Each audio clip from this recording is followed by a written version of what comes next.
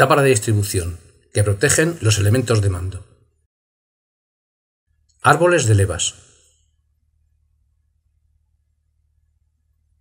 Válvulas. Muelles. Sistemas de mando. Piñones, cadena y correa dentada. Con piñones y cadena, el sistema funciona con lubricación del aceite del motor. El sistema de correa dentada trabaja en seco. Estos son los sistemas de distribución representados. SV, válvulas laterales. OHC, árbol de levas en cabeza. Y DOHC, doble árbol de levas en cabeza. Estos son los empujadores o taqués, elementos intermediarios entre las levas y las válvulas para reducir desgastes y en algunos modelos hacer el reglaje de válvulas.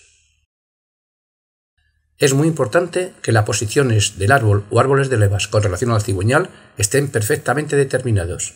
Hay unas marcas específicas para ajustarlos tras un desmontaje.